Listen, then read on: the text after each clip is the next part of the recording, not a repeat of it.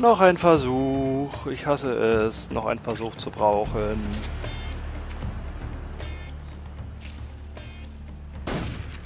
Verdammt. Gut. So, und jetzt schießen die auf mich. Die Schweine. Ah, gestochen.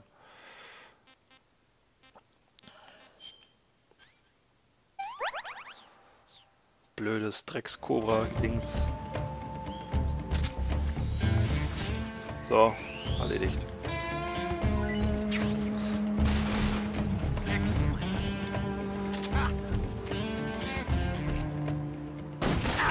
Ah, huh?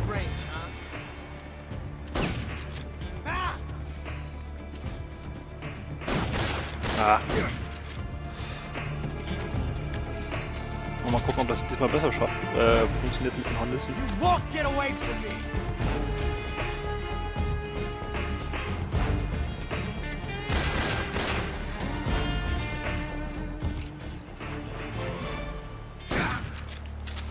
Soll doch öfter in den Kopf schießen. Das bringt mehr. Not bad, eh?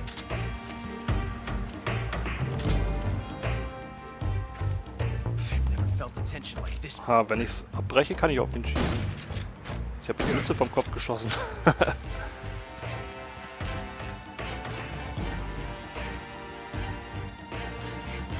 Links oder rechts? Achso, hätte ich noch nach. Noch ein Versuch hiermit. Diesmal hat's geklappt. Aber er kommt auch nicht raus. Ah! Ah. Naja, Wissen nervt sie. Das ist das Wichtigste. Und der hat keine Mütze mehr, so wie Mario.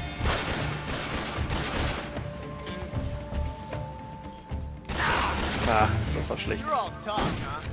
Das war auch schlecht.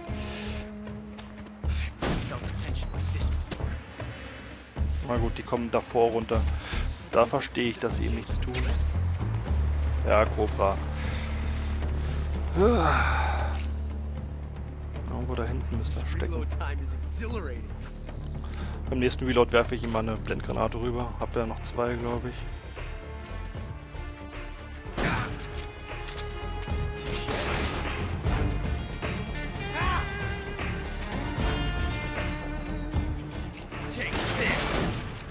Ab.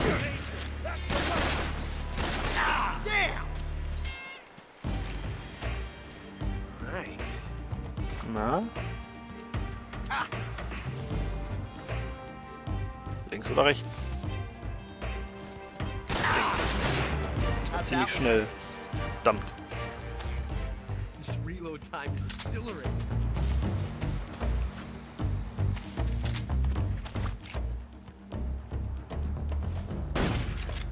Wieder die Mütze vom Kopf geschossen und einen Headshot verpasst.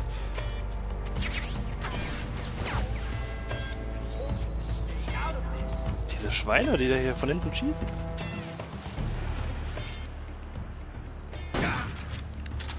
So, viel ist nicht mehr.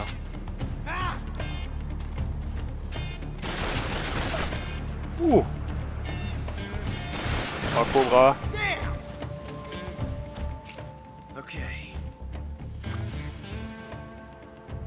Komm schon.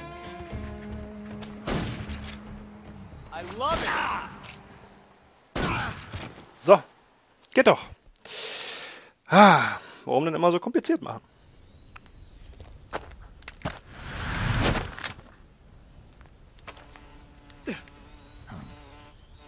Damn it. He found us.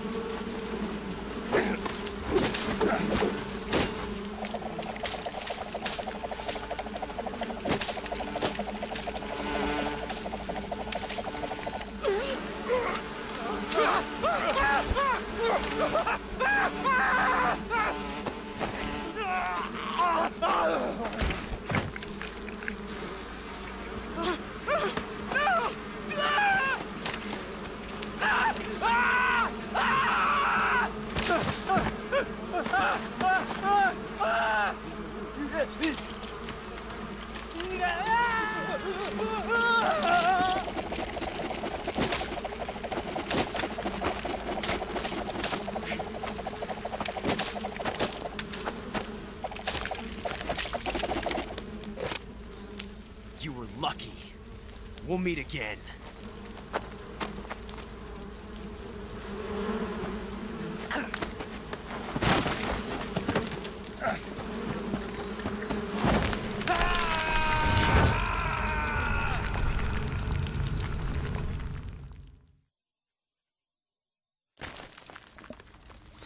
Springen wir einfach in einen 20 Meter tiefen Schacht, ohne uns dabei etwas zu tun. So. Da wir den guten Ocelot gerade eben halt mit Betäubungsmunition erledigt haben, ist hier dieses gute Stück Tieruniform. Ich zeige sie euch. Uniform Tier. Tarnuniform Pelzmuster. Man konnte hier noch Genau, mehr Informationen. Äh, Tigerähnliches gestreiftes Tarnmuster, wirkungsvoll im Wald- und Wiesenbereich. Sowie auf Erde und schlammigem Boden. Hm. Achso, ich muss es auswählen. So. Das war das Falsche. So. Eine Tarnuniform aus Tierhäuten. Der Träger kann mit ruhiger Hand mit der Pistole zielen. Ja, der Vorteil hierbei ist, ihr habt es vorhin vielleicht ab und zu schon mal gemerkt, äh, wenn mein Stamina nicht ganz voll ist, zittert Snake äh, mit der Pistole. Und wenn ich die Tieruniform trage, dann äh, behält er immer eine ruhige Hand. Ansonsten ist eigentlich zu gut wie nicht zu gebrauchen, da sie doch sehr auffällig ist. In Wüstengebieten vielleicht schon, aber ansonsten größtenteils nicht. So, wir sind in der Höhle, wir tragen schwarz. Auch im Gesicht. Okay, Wald bringt genauso viel wie schwarz und da schwarz doof aussieht. Wobei, nee, wir nehmen schwarz. Wobei, hier können wir auch Zombie nehmen. Ja, das ist super erschrecken wir die ganzen äh, Viecher, die hier unten wohnen. So. Davon holen wir uns auch gleich mal ein paar. Die Krabben sind super, denn die schmecken sehr gut. Und bringen viel Stamina, glaube ich. Oder zumindest ein wenig. Äh, nicht Select. Was haben wir noch so? Die Instant-Nudeln. Die können wir eigentlich dann wegwerfen. Die Korallenschlange ist auch doof. Hornissennest, das ist sehr gut. Haben wir schon mal. Und hier die Mangrovenkrabbe. Ja, die ist nämlich ziemlich gut eigentlich. Dafür, dass es hier, dass sie hier so oft vorkommt. So, wir befinden uns hier in einer großen, großen Höhle. Hier geht's raus, hier geht's lang. Im Endeffekt erstreckt sich die Höhle über mehrere Screens. Und da machen wir beim nächsten Mal weiter, um uns einen Ausgang zu suchen, der dann noch versperrt wird von einem Endboss. Welcher habt ihr gerade eigentlich schon gesehen? Denn die Hornissen gehören zu The Pain. Äh, das wird ein ziemlich cooler Kampf. Auch mal, also eigentlich wie immer hier, wie alle Kämpfer, ziemlich anders vom, äh, ziemlich abseits vom Mainstream, sage ich mal. Hat man so noch nicht so großartig gesehen. Freue mich sehr drauf, aber für heute soll es reichen. Diesmal ist der Codec richtig gewesen. Ach genau, apropos. Ne, das kann ich vorher noch machen. Ein bisschen Zeit haben wir heute noch. Und ich möchte gern die Tarnung auswählen. Die Tiertarnung. Denn ich glaube, der gute Sigint sagt auch zu unserer Tarnung was. Wenn er unsere Waffen durch hat, die wir gerade tragen, äh, quatscht er über die Tarnung, die wir gerade tragen. Und das sind immer ein paar lustige Konversationen. Hey Snake, Remember back at the abandoned factory when you whittled the grip of that 45 down? Yeah. I've never heard of a customization like that before. Why the grip? To fit it with a knife. A knife? You're gonna keep the knife and the gun both at the ready? That's the idea. Why would you want to do that? Sometimes a knife works better in close proximity encounters. So I equip both at the same time. That way I can switch back and forth in an instant. Badass. So that's that. CQC. So, nochmal kleiner Einführung in CQC. Ah, you're using the survival knife. Yeah, this thing provides me with all the bare essentials I need to survive in the field. Hey, wait. What'd you do with the knife I made you? That was a work of art. It had matches and fish hooks and thread and stuff in the grip. Sorry to have to tell you this, but that thing is useless in a fight. No way. Really? Yeah, when the grip is hollowed out like that, there's not as much space to stabilize the blade. So the joint between the blade and the grip is weaker. That makes it easier to break. I get it. You're right. With your knife, you don't have to worry about it breaking no matter how much you swing it around. So the important thing is durability. Man, I gotta write this stuff down. Next time, I'll make it so the matches and fish hooks go in the sheath instead. Hmm. Snake, your face paint, it's I know. It's called Zombie. zombie. What does that mean? Beats me. Are you serious? Hello, paramedic. You mean you've never heard of zombies? Nope. Never. You guys don't know anything. A zombie is a dead body that's been cursed and brought back to life by a master of black magic. Supposedly, they revive the dead and use them as slaves. It's also seen as a kind of punishment. People who commit terrible crimes can be forced to labor even after they're dead. Interesting. How do you know all this stuff? I saw it in movies. Like White Zombie. Never seen it? Uh, nope. Can't say I have. How about Plan 9 from outer space? No. Missed it. You can't just focus on the things you like all the time. You have to expand your horizons, try new things. You guys need to get out more. Yeah, well, anyway, that face paint doesn't look all that useful. Go ahead and wear it if you want, but I think you should change to... You don't need to change anything. Why not? It makes them look awesome. Doesn't it?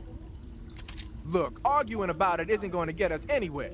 Snake, you do whatever you want. It does make you look cool. ich weiß gar nicht, ob das, ob die Zombie-Facepaint nicht auch äh, Gegner erschreckt, wenn ich damit um die Ecke komme oder so. Irgendwas hatte es noch an sich. Pattern clothing, face paint, tactical movements. These are the elements of camouflage that will allow you to deceive your enemy. To camouflage yourself, first press the start button to check out the survival viewer. Then select camouflage, and you'll see two more options, face and uniform. Choose face to apply face paint, and uniform to change your field uniform. Simple, really. Make sure and choose something that'll match your surroundings. So, nun sagt er endlich was über äh, Ocelots Uniform. Your field uniform is not just a set of threads to wear. To get the max effect out of your camouflage, you gotta correspond with your environment. So no matter where you are, make sure to choose a camo pattern that lets you blend in. Ja, weiter. Covering your body is a good start, but a bare face will kill even the best camouflage. If the situation calls for a high camo index, you better break out the face paint. To apply face paint, select face from the camouflage menu in the survival viewer. Then choose a face paint that blends in. Ja, das ist jetzt bla bla bla. The camo index look Ja, wissen wir auch schon. I heard you fought against KGB troops in the Virtuous mission. But this time you're up against Spetsnaz. Spetsnaz is the Special Forces unit of GRU, the intelligence wing of the Soviet Defense Ministry's General Staff Office.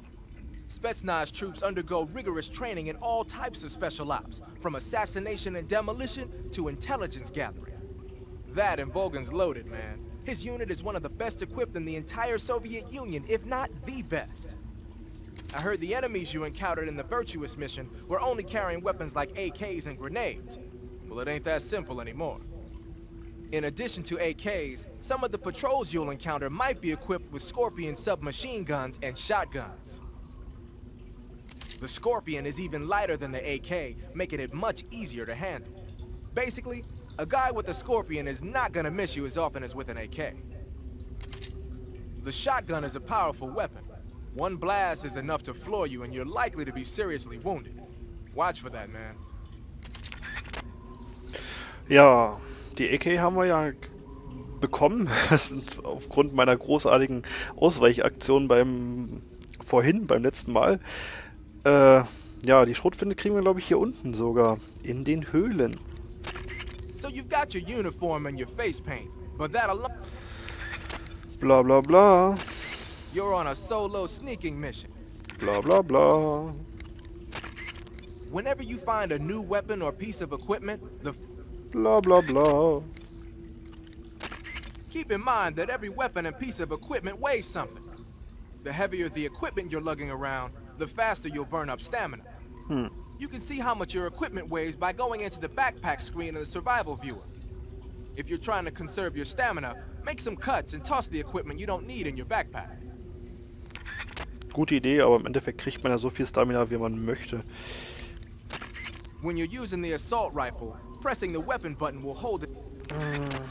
Tja, anscheinend hat er nichts zu sagen zur Camouflage von, von Ocelot, was aber sehr seltsam wäre.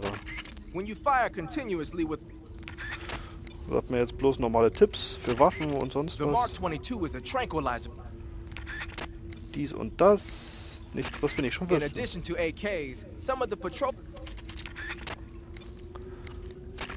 Your field uniform. So, und jetzt wiederholt er sich schon. War Paramedic die, die You hier got was sagt? instant noodles, huh? Instant noodles. Uh-huh. It was invented in Japan just recently. Add some hot water and it's ready to eat. It's cheap and can be stored for a long time. And besides, it's delicious. It's like a miracle food. Wow.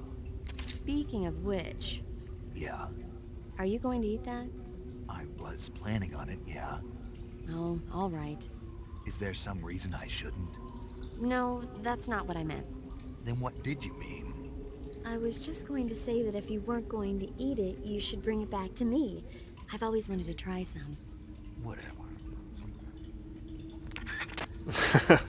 Ja, Paramedic stimmt. Die sagt was zu den Sachen, die wir gegessen haben. Noch mehr Wow, lustige, you caught a coral snake. tolle The coral snake is a Konversation. venomous snake that originally hails from the Americas. Its venom is a very potent neurotoxin, so don't let it bite you. If you do get bitten, go into the survival viewer right away and use Cure to neutralize the poison with a serum injection. The colorful red and black patterns on the coral snake are a warning sign. Apparently, the bright flashy colors and pattern let other animals know that it carries a deadly poison that keeps them from attacking. There are many animals that mimic the colors of known poisonous animals as a defense. See, by mimicking other poisonous creatures, they increase their chances of survival. There is another non poisonous snake called the milk snake that borrows its coloring from the coral snake. You're not even listening, are you? No. Na gut, das soll es für heute gewesen sein. Lassen wir uns noch was über einen schönen it Film erzählen, nachdem wir gespeichert haben. Und ja, das war's dann. So, ich sollte anfangen, auch wieder abwechselnd zu speichern. Man weiß ja nie, was schiefgehen kann. Beim Let's Playen. Ah, Snake, have you seen 007 from Russia with Love? Nah, I don't like those movies.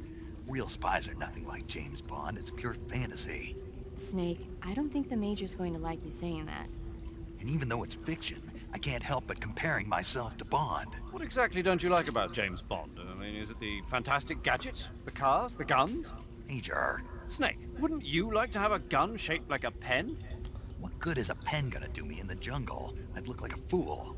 Then what about a snake-shaped gun? You could make it look like you're grappling with a giant snake and then get a shot in on the enemy while they're distracted. Okay, now you're being ridiculous. We'll make you a snake-shaped gun that folds up and fits into an attaché case. Will you give it a rest? Oh, I get it. You're worried about how to handle the ladies, aren't you? No. I knew it. Hmm, to tell you the truth, I don't like the idea of playing hanky-panky with enemy femme fatales either. But that's part of Bond's appeal. You could learn a thing or two from him. I mean, what about this Eva? What are you planning to do with her? I, I don't even trust her yet. No, that's not what I mean. You, you can't let yourself get involved. This is a game of spy versus spy. She's using you just as much as you're using her. I realize that. You've got to grab the initiative, and to do that, you have to get the upper hand in the relationship. That's what a spy is supposed to do. Get the upper hand. I don't think I'm cut out for that mission. Maybe if you change your code name to 00 Snake. Major, 007 is the biggest thing to come out of England since the Mayflower. I wouldn't be surprised if they made 20 more of those movies. Didn't you know? The Major is a huge James Bond fan. Don't get him worked up like this. worked up. Maybe you don't realize this, but now that you've got him started talking about Bond, I'm going to have to listen to him lecture for a whole hour after he gets off the radio. You have my sympathy. It's too bad you can't enjoy such a great movie, though. I guess I'm just one of those people who can't enjoy spy flicks. So, So viel zu dem Thema. Gut, ja, beim nächsten Mal erkunden wir diese gruselige schwarze Höhle, wo wir aber auch ein bisschen ein paar Sachen finden, um sie uns ein wenig heller zu machen. So, bis dahin muss ich sagen, es hat mir sehr viel Spaß gemacht heute. Ich konnte heute auch endlich mal wieder ein bisschen sneaken und das hat eigentlich bis auf einen kleinen Patzer wunderbar funktioniert. Und ja, bis zum nächsten Mal. Euer Chaos sagt Tschüssili.